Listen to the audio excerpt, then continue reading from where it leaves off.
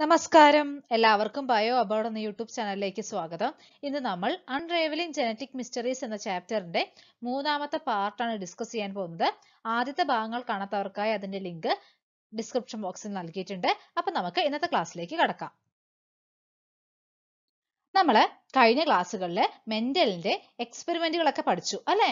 എന്നിട്ട് അദ്ദേഹം കണ്ടുപിടിച്ച കാര്യങ്ങൾ എന്തൊക്കെയാണെന്ന് മനസ്സിലാക്കി. അപ്പൊ നമ്മൾ ജീൻസ് ഡി എൻ എയിലാണ് കാണുന്നത് എന്ന് കഴിഞ്ഞ ക്ലാസ്സിൽ പറഞ്ഞിരുന്നു. പണ്ട് അദ്ദേഹം ഫാക്ടേഴ്സ് എന്ന് വിളിച്ചത് ഈ ജീനുകളെയായിരുന്നു ഈ ജീനുകൾ എവിടെയാണ് കാണപ്പെടുന്നത്? ഡി എൻ എയിലാണ് ന്യൂക്ലിയസിലെ ക്രോമസോമിൽ കാണപ്പെടുന്ന ഡി എൻ എയിലാണ് ഈ ജീനുകൾ കാണപ്പെടുന്നത്. ഇനി നമ്മൾ പഠിക്കാൻ പോകുന്നത് ഡി എൻ എയുടെ സ്ട്രക്ചർ ആണ്. ഡി എൻ എ അഥവാ ഡിയോക്സി റൈബോ ന്യൂക്ലിക് ആസിഡ് അപ്പൊ നമുക്ക് ഡി എൻ എയുടെ സ്ട്രക്ചർ നോക്കാം. James Watson and Francis Crick ഈ രണ്ട് ശാസ്ത്രജ്ഞന്മാരാണ് ഡി എൻ എയുടെ മോഡൽ പ്രപ്പോസ് ചെയ്തത്. ഇവരുടെ ഡി എൻ എ മോഡലാണ് വൈഡ്ലി അക്സെപ്റ്റഡ് ആയിട്ടുള്ള മോഡൽ ഇതിനെ നമ്മൾ double helical model of D N A എന്നാണ് പറയുന്നത്. നയന്റീൻ ഫിഫ്റ്റി ത്രീയിലാണ് ഇവർ ഇത് പ്രപ്പോസ് ചെയ്തത്. നയന്റീൻ സിക്സ്റ്റി ടൂൽ ഇവർക്ക് ഈ കണ്ടുപിടുത്തത്തിന് നോബൽ പ്രൈസ് ലഭിക്കുകയും ചെയ്തിരുന്നു. കാരണം widely accepted model of D എന്ന് പറയുന്നത് അവരുടെ വാട്സൺ ആൻഡ് ക്രിക്ക് മോഡൽ എന്നും പറയുന്നുണ്ട്. അല്ലെങ്കിൽ double helical model of D N A എന്ന് പറയുന്നു. അപ്പോൾ വാട്സൺ ആൻഡ് ക്രിക്ക് മോഡൽ അല്ലെങ്കിൽ double helical model of D N A ആണ് നമ്മൾ ഇന്ന് പഠിക്കാൻ പോകുന്നത്. ഇവരുടെ മോഡലിൽ പറയുന്നത് ഡി എൻ എയിൽ രണ്ട് സ്ട്രാൻഡ്സ് കാണപ്പെടുന്നുണ്ട് എന്നാണ്. രണ്ട് സ്ട്രാൻഡ്സ് എവിടെ കാണപ്പെടുന്നുണ്ട്? ഡി എൻ എയിൽ കാണപ്പെടുന്നുണ്ട്. ഈ സ്ട്രാൻഡ്സ് ഉണ്ടാക്കിയിരിക്കുന്നത് ഷുഗർ മോളിക്യൂൾസും ഫോസ്ഫേറ്റ് ഗ്രൂപ്പുകളും അതുപോലെ തന്നെ അവിടെ നിന്ന് പുറത്തേക്ക് നിൽക്കുന്ന ഈ ഷുഗർ മോളിക്യൂൾ ഫോസ്ഫേറ്റ് ഗ്രൂപ്പിൽ നിന്ന് പുറത്തേക്ക് പ്രൊജക്ട് ചെയ്ത് നിൽക്കുന്ന നൈട്രജൻ ബേസും കൂടി ചേർന്നാണ്. ഇപ്പൊ നമ്മളൊരു ഏണി പോലെ ഈ ഡി എൻ എ സങ്കല്പിക്കുകയാണെങ്കിൽ ആ ഏണിയിൽ നമ്മൾ കാൽ ചുവട്ടുന്ന ഭാഗമില്ലേ അതാണ് ഈ റങ്സ് ആണ് നൈട്രജൻ ബേസസ് ആ ബാക്ക് ബോൺ ആയിട്ട് നിൽക്കുന്ന ഭാഗമാണ് ഷുഗറും ഫോസ്ഫേറ്റ് മോളിക്യൂൾസും കൂടി ചേർന്ന ഭാഗം. ഇങ്ങനെയാണ് ഡി എൻ എ ഉണ്ടാവുക. കണ്ടോ? ട്വിസ്റ്റ് ചെയ്തിട്ടാണ് കാണപ്പെടുന്നത്. രണ്ട് സ്ട്രാൻഡുകൾ കാണപ്പെടുന്നുണ്ട്. ഇതൊരു സ്ട്രാൻഡ് ഇവിടെ ഒരു സ്ട്രാൻഡ് ഈ സ്ട്രാൻഡുകളിൽ നിന്ന് പുറത്തേക്ക് എന്ത് പ്രൊജക്ട് ചെയ്ത് നിൽക്കുന്നു? നൈട്രജൻ ബേസുകൾ പുറത്തേക്ക് പ്രൊജക്ട് ചെയ്ത് നിൽക്കുന്നു. അപ്പൊ നമ്മളിപ്പോ ഒരു ഏണി പോലെയൊക്കെ സങ്കല്പിക്കുകയാണെങ്കിൽ നമ്മൾ ഏണിയിൽ കാൽ ചുവട്ടി നിൽക്കുന്ന ഭാഗമില്ലേ? അതാണ് ആ റങ്സ് ആണ് നൈട്രജൻ ബേസസ് രണ്ട് ഭാഗത്തു നിന്നും നൈട്രജൻ ബേസസ് ഇങ്ങനെ പ്രൊജക്ട് ചെയ്ത് നിൽക്കുന്നുണ്ട്. അവ തമ്മിലൊരു ബോണ്ടിങ് ഉണ്ട്. പിന്നെ രണ്ട് സ്ട്രാൻഡുകൾ രണ്ട് ഭാഗത്തുമായി കാണപ്പെടുന്നു. ഈ സ്ട്രാൻഡുകളിൽ ഷുഗറും ഫോസ്ഫേറ്റ് മോളിക്യൂൾസും കാണപ്പെടുന്നുണ്ട്. അപ്പോൾ ഇങ്ങനെ ട്വിസ്റ്റ് ചെയ്ത് കാണപ്പെടുന്ന ഏണി പോലെയൊക്കെ ഉള്ള ഒരു സ്ട്രക്ചർ ആണ് ഡി എൻ എക്ക് ഉള്ളത് ഡി എൻ എ മോളിക്യൂളിനുള്ളത് ഇവിടെ കാണുന്നതാണ് നൈട്രജൻ ബേസുകൾ എന്ന് പറഞ്ഞു അല്ലെ? നാല് തരത്തിലുള്ള നൈട്രജൻ ബേസുകളാണ് കാണപ്പെടുന്നത്. അഡിനിൻ തൈമിൻ സൈറ്റോസിൻ ഗ്വാനിൻ ഇങ്ങനെ നാല് തരത്തിലുള്ള നൈട്രജൻ ബേസുകൾ കാണപ്പെടുന്നുണ്ട്. അപ്പൊ രണ്ട് സ്ട്രാൻഡുകളിൽ നിന്നും നൈട്രജൻ ബേസുകൾ ഇങ്ങനെ പ്രൊജക്ട് ചെയ്ത് നിൽക്കുന്നുണ്ട് അല്ലെ? എന്നിട്ട് ഇവയ്ക്കിടയിൽ എന്താണ്? ഒരു ബോണ്ടിങ് കാണപ്പെടുന്നുണ്ട്. അപ്പൊ നമ്മൾ ഇതിലെ ഒരു സ്ട്രാൻഡ് എടുത്ത് നോക്കുകയാണെങ്കിൽ ഇങ്ങനെയാണ് സ്ട്രക്ചർ ഉണ്ടാവുക. ഷുഗർ മോളിക്യൂൾസ് കാണപ്പെടുന്നുണ്ട്. ഈ കാണുന്നതാണ് ഷുഗർ മോളിക്യൂൾസ് പിന്നെ ഫോസ്ഫേറ്റ് ഗ്രൂപ്പും കാണപ്പെടുന്നുണ്ട്. ഈ ഫോസ്ഫേറ്റ് ഗ്രൂപ്പ് വഴി ഈ രണ്ട് ഷുഗർ മോളിക്യൂൾസും പരസ്പരം കണക്ട് ചെയ്ത് കാണുന്നുണ്ട് അല്ലെ? അങ്ങനെ. ഇവിടെ തൊട്ടടുത്തുള്ള ഷുഗർ മോളിക്യൂളുമായിട്ട് ഈ ഫോസ്ഫേറ്റ് ഗ്രൂപ്പ് കണക്റ്റഡ് ആയിരിക്കും. അങ്ങനെ കാണുന്നുണ്ട്. ഇതാണ് ഈ ഡി എൻ എയുടെ ബാക്ക് ബോൺ ഫോം ചെയ്യുന്നത്. ഇനി ഇവിടെ നിന്ന് പുറത്തേക്ക് പ്രൊജക്ട് ചെയ്ത് നിൽക്കുന്നതാണ് nitrogen bases four different different types of nitrogen bases കാണപ്പെടുന്നുണ്ട്. ഏതൊക്കെയാണ്? അഡിനിൻ ഗ്വാനിൻ തൈമിൻ സൈറ്റോസിൻ ഇങ്ങനെ നാലെണ്ണമാണ് കാണപ്പെടുന്നത്. ഇതിപ്പോൾ നമ്മൾ സിംഗിൾ സ്ട്രാൻഡിന്റെ കാര്യമാണ് പറഞ്ഞത്. ഇവിടെ ഇപ്പുറത്ത് മറ്റൊരു സ്ട്രാൻഡ് ഉണ്ടാവും. ഈ ഭാഗത്ത് മറ്റൊരു സ്ട്രാൻഡ് കാണപ്പെടുന്നുണ്ടാവും. ഈ സ്ട്രാൻഡ് ഈ ഡയറക്ഷനിലാണെങ്കിൽ നേരെ ഓപ്പോസിറ്റ് ഡയറക്ഷനിലുള്ള സ്ട്രാൻഡ് ആയിരിക്കും തൊട്ടടുത്തുണ്ടാവുക അപ്പോൾ ഈ ഒരു സ്ട്രാൻഡ് ഈ ഡയറക്ഷനിലാണ് അറേഞ്ച് ചെയ്തിട്ടുള്ളത് എങ്കിൽ ഓപ്പോസിറ്റ് ഡയറക്ഷനിലായിരിക്കും തൊട്ടടുത്തുള്ള സ്ട്രാൻഡ് അറേഞ്ച് ചെയ്തിട്ടുണ്ടാവുക. നമ്മളിപ്പോ ഈ ഡി എൻ എയിൽ ഫോസ്ഫേറ്റ് മോളിക്യൂളും ഷുഗർ മോളിക്യൂളും അതുപോലെ തന്നെ നൈട്രജൻ ബേസും കാണപ്പെടുന്നുണ്ട് എന്ന് പറഞ്ഞു അല്ലെ? ഈ ഫോസ്ഫേറ്റ് മോളിക്യൂളും ഷുഗർ മോളിക്യൂളും നൈട്രജൻ ബേസും കൂടി ചേർന്ന് വരുന്ന ഈ ഒരു സ്ട്രക്ചറിനെ അതായത് ഒരു ഷുഗർ മോളിക്യൂളും ഒരു ഫോസ്ഫേറ്റ് ഗ്രൂപ്പും ഒരു നൈട്രജൻ ബേസും കൂടി ചേർന്ന് വരുന്ന ഈ ഒരു സ്ട്രക്ചറിനെ നമ്മൾ ന്യൂക്ലിയോടൈഡ് എന്നാണ് പറയുന്നത്. എന്താണ് പറയുന്നത്? ന്യൂക്ലിയോടൈഡ് ഇങ്ങനെ വ്യത്യസ്ത ന്യൂക്ലിയോടൈഡുകൾ കൂടി ചേർന്നാണ് ഡി എൻ എ രൂപപ്പെട്ടിരിക്കുന്നത്. ഇതുപോലെ കുറെ ന്യൂക്ലിയോടൈഡുകൾ പരസ്പരം യോജിപ്പിച്ച് യോജിപ്പിച്ചാണ് ഒരു ഡി എൻ എ ഉണ്ടായിരിക്കുന്നത് അല്ലെ? ഒരു ഡി എൻ എ മോളിക്യൂൾ ഉണ്ടായിരിക്കുന്നത്. ഇവിടെ വരുന്ന ഈ നൈട്രജൻ ബേസിനനുസരിച്ച് നാല് തരത്തിലുള്ള ന്യൂക്ലിയോടൈഡുകൾ കാണപ്പെടുന്നുണ്ട്. കാരണം നാല് തരത്തിലുള്ള നൈട്രജൻ ബേസുകൾ ഉണ്ട് അല്ലെ? ഏതൊക്കെയാണ്? അഡിനിൻ നമുക്ക് എ കൊണ്ട് സൂചിപ്പിക്കാം. പിന്നെ തൈമിൻ ടി പിന്നെ ഏതാണ്? ഗ്വാനിൻ ജി സൈറ്റോസിൻ സി ഇങ്ങനെ നാല് തരത്തിലുള്ള നൈട്രജൻ ബേസുകൾ കാണപ്പെടുന്നത് കൊണ്ട് തന്നെ ഈ വരുന്ന നൈട്രജൻ ബേസിനനുസരിച്ച് നാല് ഡിഫറെന്റ് ടൈപ്സ് ഓഫ് ന്യൂക്ലിയോടൈഡുകൾ അവൈലബിൾ ആണ്. ഈ ന്യൂക്ലിയോടൈഡുകൾ ഇങ്ങനെ കൂടിച്ചേർന്ന് കൂടിച്ചേർന്നാണ് എന്ത് രൂപപ്പെട്ടിരിക്കുന്നത്? ഡി എൻ എ രൂപപ്പെട്ടിരിക്കുന്നത്. അപ്പോൾ ഡി എൻ എയിൽ ഒരു ഷുഗർ കാണപ്പെടുന്നുണ്ടെന്ന് പറഞ്ഞു അല്ലെ ഒരു ഷുഗർ അല്ല കുറെ ഷുഗർ മോളിക്യൂൾസ് കാണപ്പെടുന്നുണ്ട്. ആ sugar molecules deoxyribose sugar ആണ്. അതുകൊണ്ടാണ് ഡിയോക്സി റൈബോ ന്യൂക്ലിക് ആസിഡ് എന്ന പേര് വന്നിരിക്കുന്നത്. ഡിയോക്സി റൈബോസ് ഷുഗർ ആണ് ഡി എൻ എയിൽ കാണപ്പെടുന്നത്. പിന്നെ നൈട്രജൻ ബേസുകൾ കാണപ്പെടുന്നുണ്ടെന്ന് നമ്മൾ പറഞ്ഞു അല്ലെ? ഈ നൈട്രജൻ ബേസുകൾ എന്ന് പറയുന്നത് നൈട്രജൻ കണ്ടെയ്ൻ ചെയ്യുന്ന മോളിക്യൂൾസ് ആണ്. ഇവയ്ക്ക് ആൽക്കലൈൻ പ്രോപ്പർട്ടി ആണുള്ളത്. ആൽക്കലൈൻ പ്രോപ്പർട്ടി ഉള്ള നൈട്രജൻ കണ്ടെയ്ൻ ചെയ്യുന്ന മോളിക്യൂൾസ് ആണ് നൈട്രജൻ ബേസസ് എന്ന് പറയുന്നത്. നമ്മൾ പറഞ്ഞു ഡി എൻ എയിൽ നാല് തരത്തിലുള്ള നൈട്രജൻ ബേസുകൾ കാണപ്പെടുന്നുണ്ട്. ഏതൊക്കെയാണ്? അഡിനിൻ തൈമിൻ ഗ്വാനിൻ സൈറ്റോസിൻ അങ്ങനെ നാല് തരത്തിലുള്ള നൈട്രജൻ ബേസുകൾ കാണപ്പെടുന്നത് കൊണ്ട് തന്നെ നാല് തരത്തിലുള്ള ന്യൂക്ലിയോടൈഡുകളും കാണപ്പെടുന്നുണ്ട്. അല്ലെ? ഒരു ന്യൂക്ലിയോടൈഡ് എന്ന് പറഞ്ഞു കഴിഞ്ഞാൽ ഒരു ഷുഗർ മോളിക്യൂൾ ഉണ്ടാവും പിന്നെ ഒരു ഫോസ്ഫേറ്റ് മോളിക്യൂൾ ഉണ്ടാവും പിന്നെയോ ഒരു നൈട്രജൻ ബേസ് ഉണ്ടാവും. ആ വരുന്ന നൈട്രജൻ ബേസ് ഏതാണ് എന്നുള്ളതിനെ അടിസ്ഥാനമാക്കി നാല് തരത്തിലുള്ള ന്യൂക്ലിയോടൈഡുകൾ കാണപ്പെടുന്നുണ്ട്. ഡി എൻ എയിൽ നാല് തരത്തിലുള്ള ന്യൂക്ലിയോടൈഡുകൾ കാണപ്പെടുന്നുണ്ട്. ഈ നൈട്രജൻ ബേസസ് സ്പെസിഫിക് ആയിട്ട് ബൈൻഡിങ്ങിൽ ബോണ്ടിങ്ങിൽ ഏർപ്പെടുന്നവയാണ്. അതായത് അഡിനിൻ എപ്പോഴും തൈമിനുമായിട്ടേ പെയർ ചെയ്യുകയുള്ളൂ. അഡിനിൻ എപ്പോഴും തൈമിനുമായിട്ടേ പെയർ ചെയ്യുകയുള്ളൂ. എ എപ്പോഴും ആരുമായിട്ടാണ്? ടീയുമായിട്ടാണ് പെയർ ചെയ്യുന്നത്. അതുപോലെ തന്നെ ഗ്വാനിൻ എപ്പോഴും സൈറ്റോസിനുമായേ പെയർ ചെയ്യുന്നുള്ളൂ. ഗ്വാനിൻ എപ്പോഴും ആരുമായിട്ടാണ് പെയർ ചെയ്യുന്നത്? Cytosine G C A T guanine എപ്പോഴും തൈമിനുമായിട്ടാണ് പെയർ നടക്കുന്നത്. അപ്പൊ സ്പെസിഫിക് ആയിട്ട് ഇവ ബൈൻഡ് ചെയ്യുന്നുള്ളൂ. സ്പെസിഫിക് ആയിട്ടുള്ള പേരിങ് അവിടെ നടക്കുന്നുള്ളൂ. അതായത് അഡിനിൻ എപ്പോഴും തൈമിനുമായും ഗ്വാനിൻ എപ്പോഴും സൈറ്റോസിനുമായും മാത്രമേ പെയർ ചെയ്യുകയുള്ളൂ. അടുത്ത നമുക്ക് ഇൻഡിക്കേറ്റേഴ്സ് നോക്കാം. കമ്പണൻസ് ഓഫ് ന്യൂക്ലിയോടൈഡ് ന്യൂക്ലിയോടൈഡിൽ കാണപ്പെടുന്ന കമ്പണൻസ് ഏതൊക്കെയാണ്?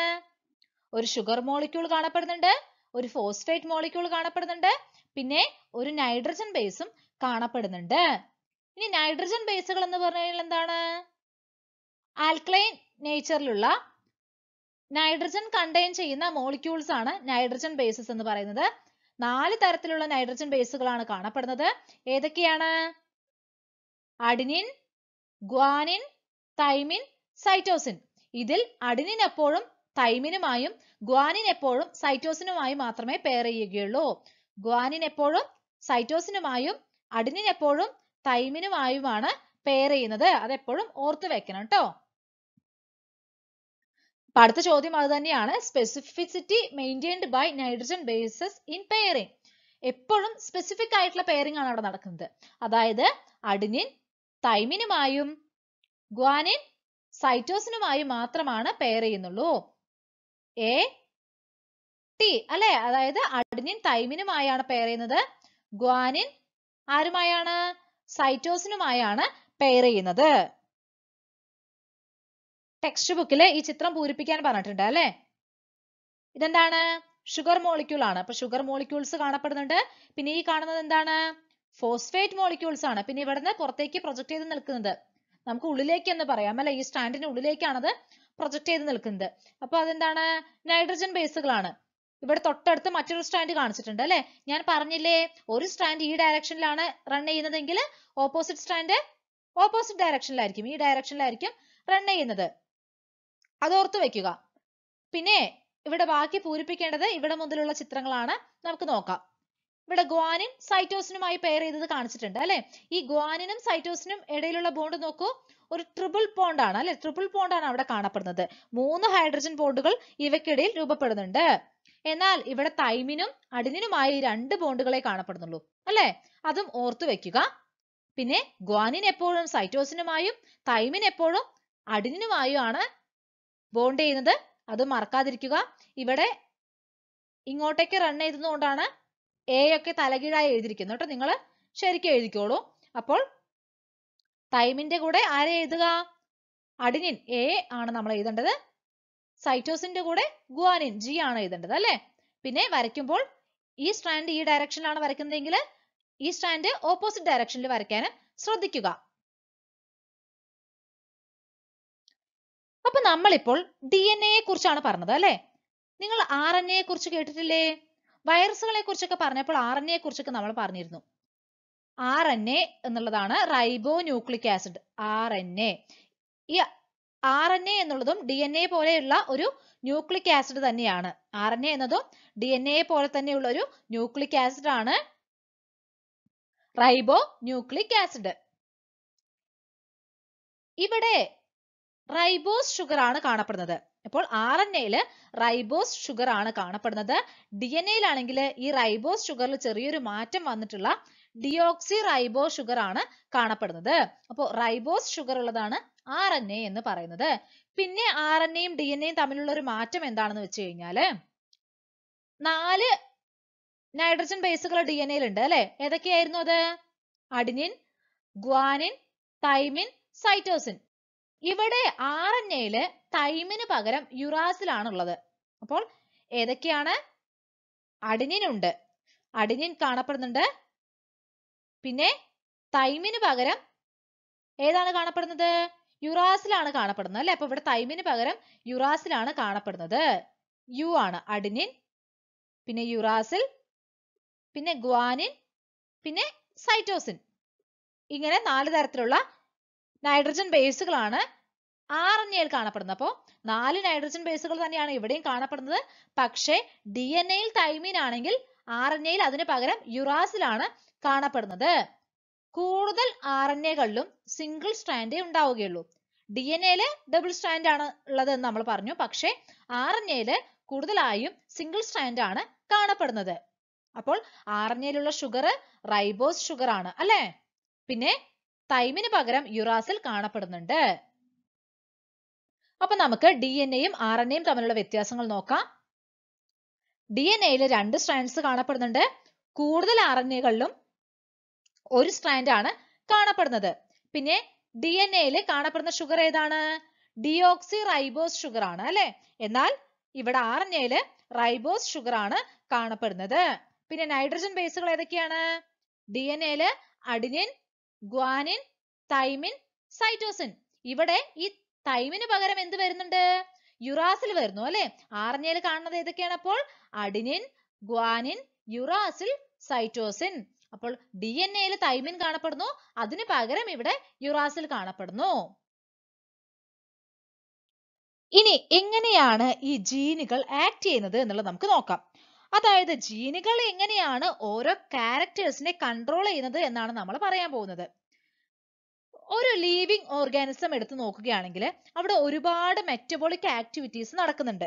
ഇപ്പോൾ നമ്മളുടെ ശരീരത്തിലൊക്കെ ഒരുപാട് മെറ്റബോളിക് ആക്ടിവിറ്റീസ് നമ്മളുടെ ജീവനുള്ള വസ്തുക്കളുടെ ശരീരത്തിനകത്ത് ഒരുപാട് കെമിക്കൽ റിയാക്ഷൻസ് നടക്കുന്നുണ്ട് അല്ലെ? ചെറിയ ചെറിയ മോളിക്യൂൾസ് കൂടി ചേർന്ന് വലുതായി മാറുന്നു. ദെൻ കോംപ്ലക്സ് മോളിക്യൂൾസ് ഒക്കെ ബ്രേക്ക് ഡൗൺ ചെയ്ത് ചെറിയ മോളിക്യൂൾസ് ആയിട്ട് മാറുന്നു. അങ്ങനെ പല മാറ്റങ്ങളും സംഭവിക്കുന്നുണ്ട്. അതിനെയാണ് നമ്മൾ മെറ്റബോളിസം എന്ന് പറയുന്നത്. ഈ മെറ്റബോളിക് ആക്ടിവിറ്റീസിനെയൊക്കെ കൺട്രോൾ ചെയ്യുന്നത് പെർട്ടിക്കുലർ പ്രോട്ടീൻസ് ആണ്. ദാറ്റ് മീൻസ് എൻസൈംസ് ആണ്. എൻസൈംസ് എന്ന് പറയുന്നത് പ്രോട്ടീൻസ് തന്നെയാണ്. അപ്പോൾ ഈ പ്രോട്ടീൻസിനെ സിന്തസൈസ് ചെയ്യുന്നത് കൺട്രോൾ ചെയ്യുന്നത് ജീനുകളാണ് അപ്പോൾ ജീനിലാണ് ഏത് പ്രോട്ടീൻ സിന്തസൈസ് ചെയ്യപ്പെടണം എന്ന ഇൻഫർമേഷൻ ഉള്ളത്. അപ്പോൾ അങ്ങനെയാണ് ഓരോ ആക്ടിവിറ്റീസിനെയും അല്ലെങ്കിൽ ഓരോ ക്യാരക്ടേഴ്സിനെയും ആര് നിയന്ത്രിക്കുന്നത്? ജീനുകൾ നിയന്ത്രിക്കുന്നത്. ഓരോ ജീനിലും ഓരോ പ്രോട്ടീനിനെ സിന്തസൈസ് ചെയ്യാൻ ആവശ്യമായിട്ടുള്ള ഇൻഫർമേഷൻ ഉണ്ടാവും. ആ ഉണ്ടാവുന്ന പ്രോട്ടീനിന് അനുസരിച്ചാണ് നമ്മളുടെ ശരീരത്തിലെ പല കാര്യങ്ങളും നടക്കുന്നത്. അപ്പൊ അങ്ങനെയാണ് ഓരോ ക്യാരക്ടേഴ്സും കൺട്രോൾ ചെയ്യപ്പെടുന്നത്. ഈ ജീൻസ് എവിടെയാണ് കാണപ്പെടുന്നത്? ഡി എൻ എയിലാണ് ഡി എൻ എയിലെ പെർട്ടിക്കുലർ സെഗ്മെന്റ്സ് ആണ് ഈ ജീൻസ് എന്ന് പറയുന്നത്. നമുക്കറിയാം ലിവിങ് ഓർഗാനിസങ്ങളുടെ ഒക്കെ ബേസിക് യൂണിറ്റ് എന്ന് പറയുന്നത് സെല്ലാണ് അല്ലെ? Cell is the basic unit of life അപ്പൊ നമ്മൾ ഒരു സെൽ എടുത്ത് നോക്കുമ്പോൾ അവിടെ എന്ത് കാണപ്പെടുന്നുണ്ടാവും? ന്യൂക്ലിയസ് കാണപ്പെടുന്നുണ്ടാവും. ഈ ന്യൂക്ലിയസിനുള്ളിൽ എന്ത് കാണുന്നുണ്ട്? ക്രോമസോമുകൾ കാണപ്പെടുന്നുണ്ട്. കണ്ടോ? ന്യൂക്ലിയസിനുള്ളിൽ ക്രോമസോമുകൾ കാണപ്പെടുന്നുണ്ട്. ഈ ക്രോമസോമുകൾ ഉണ്ടായിരിക്കുന്നത് ഡി എൻ എയും ചില പ്രോട്ടീനുകളും ചേർന്നാണ്. ഈ ഡി എൻ എയിലെ ഓരോ ഭാഗങ്ങളാണ് ജീൻ എന്ന് പറയുന്നത്. ഓരോ സെഗ്മെന്റുകളെയാണ് നമ്മൾ എന്ത് പറയുന്നത്? ജീൻ എന്ന് പറയുന്നത്. ഓരോ ജീനും ഓരോ പെർട്ടിക്കുലർ ക്യാരക്ടറിനെ കൺട്രോൾ ചെയ്യുന്നവരെ ആയിരിക്കും അല്ലെ? അപ്പോൾ ജീൻ എവിടെയാണ് കാണപ്പെടുന്നത്? ക്രോമസോമിലാണ് ക്രോമസോമിൽ ഡി എൻ എ ഉണ്ട്. ഈ ഡി എൻ എയുടെ ഭാഗങ്ങളാണ് ജീനുകൾ എന്ന് പറയുന്നത്. ഈ ക്രോമസോംസ് എവിടെ കാണപ്പെടുന്നു? ന്യൂക്ലിയസിൽ കാണപ്പെടുന്നു. നമുക്കിനി പ്രോട്ടീൻ സിന്തസിസിനെ കുറിച്ച് നോക്കാം. നമ്മൾ പറഞ്ഞു ജീനുകളിലാണ് പ്രോട്ടീൻ സിന്തസിസിന് ആവശ്യമായിട്ടുള്ള ഇൻഫർമേഷൻ ഉള്ളത് എന്ന് അല്ലെ? ഇവിടെ ഈ ഡി എൻ എയിലെ ജീനുകളിൽ എന്ത് കാണുന്നുണ്ട്? പ്രോട്ടീൻ സിന്തസിസിന് ആവശ്യമായിട്ടുള്ള ഇൻഫർമേഷൻ കാണുന്നുണ്ട്. ഈ പ്രോട്ടീൻ സിന്തസിസിന്റെ ആദ്യത്തെ സ്റ്റെപ്പ് എന്താണെന്ന് അറിയുമോ? ഡി എൻ എയിൽ നിന്നും ആർ എൻ എ ഉണ്ടാവുക എന്നുള്ളതാണ്. അതായത് ഇവിടെ ഈ ഡി എൻ എ ഡയറക്റ്റ് ആയിട്ട് പ്രോട്ടീൻ സിന്തസിസിൽ ഇൻവോൾവ് ചെയ്യുന്നില്ല. പകരം ആർ എൻ എയുടെ സഹായത്തോടു കൂടിയാണ് പ്രോട്ടീൻ സിന്തസിസ് നടക്കുന്നത്. അതുകൊണ്ട് തന്നെ ആദ്യം ഡി എൻ എയിൽ നിന്നും ഒരു M R N A strand ഉണ്ടാവുന്നു. ഇതിനെ എം ആർ എൻ എ എന്ന് പറയാൻ കാരണം പ്രോട്ടീൻ സിന്തസിസിന് ആവശ്യമായിട്ടുള്ള ഇൻഫർമേഷൻ ഡി എൻ എയിൽ നിന്നും റൈബോസോമിലേക്ക് ക്യാരി ചെയ്ത് കൊണ്ടുപോകുന്നത് ഈ എം ആർ എൻ എ ആണ്. അതുകൊണ്ടാണ് മെസഞ്ചർ ആർ എൻ എ അല്ലെങ്കിൽ എം ആർ എൻ എ എന്ന് ഈ ആർ എൻ എയെ വിളിക്കുന്നത്. കാരണം അത് എന്ത് ചെയ്യുന്നുണ്ട്? ഈ ഡി എൻ എയിലുള്ള പ്രോട്ടീൻ സിന്തസിസിന് ആവശ്യമായിട്ടുള്ള ഇൻഫർമേഷനെ ക്യാരി ചെയ്ത് കൊണ്ടുപോകുന്നുണ്ട്. അങ്ങനെ ഒരു മെസ്സേജ് ക്യാരി ചെയ്ത് കൊണ്ടുപോകുന്നത് കൊണ്ട് തന്നെ നമ്മൾ അതിനെ എന്ത് വിളിക്കുന്നു? മെസ്സഞ്ചർ ആർ എൻ എ അല്ലെങ്കിൽ എം ആർ എൻ എ എന്ന് വിളിക്കുന്നു. അപ്പോൾ ഇവിടെ ഡി എൻ എയിൽ നിന്നും ആദ്യം എന്തുണ്ടായി? എം ആർ എൻ എ ഉണ്ടായി. ഈ എം ആർ എൻ എ ഈ ന്യൂക്ലിയസിൽ നിന്നും പുറത്തേക്ക് വരുന്നു. സൈറ്റോപ്ലാസത്തിലേക്ക് വരുന്നു. അപ്പോൾ ന്യൂക്ലിയസിൽ വെച്ചാണ് ഇങ്ങനെ ഡി എൻ എയിൽ നിന്നും എം ആർ എൻ എ ഉണ്ടാവുന്നത്. അതിൽ എന്തുണ്ട്? ആ എം ആർ എൻ എയിലാണ് പ്രോട്ടീൻ സിന്തസിസിന് ആവശ്യമായിട്ടുള്ള ഇൻഫർമേഷൻ ഉള്ളത്. ആ എം ആർ എൻ എ പിന്നീട് ന്യൂക്ലിയസിൽ നിന്നും സൈറ്റോപ്ലാസത്തിലേക്ക് എത്തുന്നു. സൈറ്റോപ്ലാസത്തിലേക്ക് എത്തിക്കഴിയുമ്പോൾ അത് എങ്ങോട്ടേക്കാണ് എത്തുന്നത്? റൈബോസോമിലേക്കാണ് എത്തുന്നത്. റൈബോസോമിൽ വെച്ചാണ് പ്രോട്ടീൻ സിന്തസിസ് നടക്കുന്നത്. അപ്പോൾ റൈബോസോമിലേക്ക് ഈ എം ആർ എൻ എ എത്തി. അപ്പോൾ എങ്ങനെയാണ് ഏത് പ്രോട്ടീൻ ആണ് നിർമ്മിക്കപ്പെടേണ്ടത് എന്നുള്ള ഇൻഫർമേഷൻ അവിടെ എത്തി. ഇനി അവിടെ എന്ത് വേണം? പ്രോട്ടീൻ നിർമ്മിക്കാൻ ആവശ്യമായിട്ടുള്ള സാധനങ്ങൾ വേണം. പ്രോട്ടീൻ എന്ന് പറയുന്നത് അമിനോ ആസിഡുകൾ കൂടിച്ചേർന്ന് ഉണ്ടാവുന്ന ഒരു പോളിമർ ആണ്. അപ്പോൾ അമിനോ ആസിഡുകൾ കൂടിച്ചേർന്നാണ് എന്ത് രൂപപ്പെടുന്നത്? പ്രോട്ടീൻ രൂപപ്പെടുന്നത്. അപ്പോൾ ഇവിടെ ഇൻഫർമേഷൻ എത്തി. പ്രോട്ടീൻ സിന്തസിസിന് ആവശ്യമായിട്ടുള്ള ഇൻഫർമേഷൻ എത്തി. ഇനി എന്ത് വേണം? പ്രോട്ടീൻ സിന്തസിസിന് ആവശ്യമായിട്ടുള്ള അമിനോ ആസിഡുകൾ വേണം അല്ലെ? ഈ അമിനോ ആസിഡുകളെ കൊണ്ടുവരുന്നത് മറ്റൊരു തരത്തിലുള്ള ആർ എൻ എ ആണ്. അതാണ് ടി ആർ എൻ എ എന്ന് പറയുന്നത്. ടി ആർ എൻ എ അല്ലെങ്കിൽ ട്രാൻസ്ഫർ ആർ എൻ എ എന്നാണ് അത് അറിയപ്പെടുന്നത്. അതെന്ത് ചെയ്യുന്നുണ്ട്? ഈ പ്രോട്ടീൻ സിന്തസിസിന് ആവശ്യമായിട്ടുള്ള അമിനോ ആസിഡുകളെ റൈബോസോമിലേക്ക് കൊണ്ടുവരുന്നുണ്ട്. അപ്പോൾ ഏത് പ്രോട്ടീൻ ആണോ നിർമ്മിക്കപ്പെടേണ്ടത് എന്നുള്ള ഇൻഫർമേഷൻ ഇവിടെ എത്തിയിരിക്കുന്നു. പ്രോട്ടീൻ നിർമ്മിക്കാൻ ആവശ്യമായിട്ടുള്ള അമിനോ ആസിഡുകൾ എത്തിയിരിക്കുന്നു. ഇനി ഈ അമിനോ ആസിഡുകൾ ഇങ്ങനെ ഓരോന്ന് കൂടിച്ചേർന്ന് പ്രോട്ടീൻ രൂപപ്പെടണം. അപ്പോൾ ഇവിടെയുള്ള ഇൻഫർമേഷൻ അനുസരിച്ച് ഓരോ അമിനോ ആസിഡിനെയും സൂചിപ്പിക്കാൻ ഇവിടെ ഒരു പെർട്ടിക്കുലർ കോഡ് ഉണ്ടാവും. ആ കോഡുകൾക്ക് അനുസരിച്ച് ഓരോ കോഡിനും അനുസരിച്ച് ഓരോ അമിനോ ആസിഡുകൾ വരുന്നു കൂടിച്ചേരുന്നു എന്നിട്ട് എന്ത് രൂപപ്പെടുന്നു? പ്രോട്ടീൻ രൂപപ്പെടുന്നു. അപ്പോൾ എങ്ങനെയാണ് പ്രോട്ടീൻ സിന്തസിസ് നടക്കുന്നത്? ആദ്യം ഡി എൻ എയിൽ നിന്നും ആ പ്രോട്ടീൻ സിന്തസിസിന് ആവശ്യമായിട്ടുള്ള ഇൻഫർമേഷൻ ക്യാരി ചെയ്യുന്ന M R N A strand ഉണ്ടാവുന്നു. ഈ എം ആർ എൻ എ ന്യൂക്ലിയസിൽ നിന്നും പുറത്തേക്ക് വരുന്നു. എന്നിട്ട് റൈബോസോമിലേക്ക് എത്തുന്നു അല്ലെ? അതുപോലെ തന്നെ ട്രാൻസ്ഫർ ആർ എൻ എ എന്ത് ചെയ്യുന്നുണ്ട്? അമിനോ ആസിഡുകളെ റൈബോസോമിലേക്ക് കൊണ്ടുവരുന്നുണ്ട്. എന്നിട്ട് ഈ എം ആർ എൻ എയിലുള്ള ഇൻഫർമേഷൻ അനുസരിച്ച് എം ആർ എയിൽ ഏത് പ്രോട്ടീൻ നിർമ്മിക്കപ്പെടാനുള്ള ഇൻഫർമേഷൻ ആണോ ഉള്ളത്? അതിനനുസരിച്ച് ഓരോ അമിനോ ആസിഡുകൾ കൂടിച്ചേർന്ന് കൂടിച്ചേർന്ന് എന്ത് രൂപപ്പെടുന്നു? പ്രോട്ടീൻ ഉണ്ടാവുന്നു. അപ്പോൾ പ്രോട്ടീൻ സിന്തസിസ് മനസ്സിലായില്ലേ? അപ്പോൾ ഡി എൻ എ ഡയറക്റ്റ് ആയിട്ട് പ്രോട്ടീൻ സിന്തസിസിൽ ഇൻവോൾവ് ചെയ്യുന്നില്ല. പകരം അവ എന്ത് ചെയ്യുന്നു? ആർ എൻ എയുടെ സഹായത്തോടു കൂടിയാണ് പ്രോട്ടീൻ സിന്തസിസ് നടക്കുന്നത്. ഡി എൻ എയിൽ നിന്നും റൈബോസോമിലേക്ക് പ്രോട്ടീൻ സിന്തസിസിന് ആവശ്യമായിട്ടുള്ള ഇൻഫർമേഷൻ കൊണ്ടുപോകുന്ന ആർ എൻ എകളെ നമ്മൾ എന്താണ് വിളിക്കുന്നത്? മെസഞ്ചർ ആർ എൻ എ അല്ലെങ്കിൽ എം ആർ എൻ എ എന്നാണ് വിളിക്കുന്നത്. കാരണം അവിടെ നിന്നുള്ള ഒരു മെസ്സേജ് ഇങ്ങോട്ടേക്ക് കൊണ്ടുവരികയാണ് അല്ലെ? ഡി എൻ എയിൽ നിന്നുള്ള ഒരു മെസ്സേജിനെ റൈബോസോമിലേക്ക് കൊണ്ടുവരികയാണ് മെസഞ്ചർ ആർ എൻ എ അല്ലെങ്കിൽ എം ആർ എൻ എ ചെയ്യുന്നത്. എം ആർ എൻ എക്ക് പുറമെ ഇവിടെ ടി ആർ എൻ എകൾ കാണപ്പെടുന്നുണ്ട്. ഈ ടി ആർ എൻ എകളാണ് അമിനോ ആസിഡുകളെ റൈബോസോമിലേക്ക് കൊണ്ടുവരുന്നത്. പിന്നെ അടുത്തൊരു ആർ എൻ എ കൂടി ഈ പ്രോട്ടീൻ സിന്തസിസുമായി ബന്ധപ്പെട്ട് കാണപ്പെടുന്നതാണ് R R N A ribosomal R N A T R N A എന്ന് പറഞ്ഞു കഴിഞ്ഞാൽ ട്രാൻസ്ഫർ ആർ എൻ എ ആണ്. ആർ ആർ എൻ എ എന്ന് പറയുന്നത് റൈബോസോമൽ ആർ എൻ എ ആണ്. പിന്നെ എം ആർ എൻ എ കൂടി കാണപ്പെടുന്നുണ്ട്. അപ്പോൾ ഈ ആർ എൻ എ മോളിക്യൂൾസിന്റെ എല്ലാം സഹായത്തോടു കൂടി റൈബോസോമിൽ വെച്ച് എന്ത് സംഭവിക്കുന്നു? അമിനോ ആസിഡുകൾ കൂടി ചേർന്ന് പ്രോട്ടീൻ സിന്തസിസ് നടക്കുന്നു. ഇനി ഇൻഡിക്കേറ്റേഴ്സ് നോക്കാം. Different kinds of R N S ഏതൊക്കെ തരത്തിലുള്ള ആർ എൻ എകൾ കാണപ്പെടുന്നുണ്ട്? M R N A T R N A R R N A M R N A messenger R N A ആണ്. T R N A എന്ന് പറയുന്നത് transfer R N A ആണ്. R R N A എന്ന് പറയുന്നത് ഏതാണ്? Ribosomal R N A ആണ്. ഇനി role of M R N A in protein synthesis M R N എയുടെ റോൾ എന്താണ്?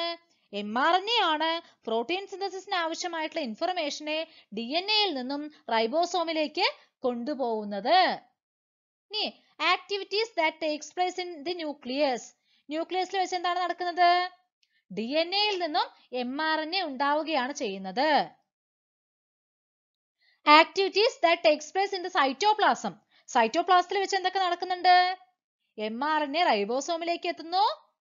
T R N A amino ആസിഡുകളെ റൈബോസോമിലേക്ക് കൊണ്ടുവരുന്നു. ഈ എം ആർ എൻ എയുടെ ഇൻഫർമേഷൻ അനുസരിച്ച് ഈ അമിനോ ആസിഡുകൾ കൂടിച്ചേർന്ന് പ്രോട്ടീൻ ഉണ്ടാവുന്നു. ഇത്രയും കാര്യങ്ങൾ നടക്കുന്നത് എവിടെ വെച്ചാണ്? സൈറ്റോപ്ലാസത്തിൽ വെച്ചാണ്. അപ്പോ നമ്മൾ ഇന്ന് ഡി എൻ എയുടെ സ്ട്രക്ചർ പഠിച്ചു പ്രോട്ടീൻ സിന്തസിസ് പഠിച്ചു അല്ലെ? ഇമ്പോർട്ടന്റ് ആയിട്ടുള്ള രണ്ട് ഭാഗങ്ങളാണ് നമ്മൾ ഇന്ന് പഠിച്ചത്. നിങ്ങൾക്ക് എല്ലാവർക്കും മനസ്സിലായി എന്ന് വിചാരിക്കുന്നു. എന്തെങ്കിലും സംശയങ്ങൾ ഉണ്ടെങ്കിൽ കമന്റ് ചെയ്യുക. നിങ്ങൾ ഈ പഠിക്കുന്നതാണ് വലിയ ക്ലാസ്സുകളിലേക്കൊക്കെ എത്തുമ്പോൾ ഉള്ളൊരു ബേസ് എന്ന് പറയുന്നത്. അതുകൊണ്ട് നന്നായി മനസ്സിലാക്കി തന്നെ പഠിക്കുക. എന്തെങ്കിലും സംശയങ്ങളോ അഭിപ്രായങ്ങളോ ഉണ്ടെങ്കിൽ കമന്റ് ചെയ്യാൻ മറക്കരുത്. ഈ വീഡിയോ നിങ്ങൾക്ക് ഇഷ്ടപ്പെടുകയാണെങ്കിൽ ലൈക്ക് ചെയ്യാനും ഷെയർ ചെയ്യാനും ബയോ അബോർഡ് എന്ന ചാനൽ സബ്സ്ക്രൈബ് ചെയ്യാനും മറക്കരുത്. താങ്ക്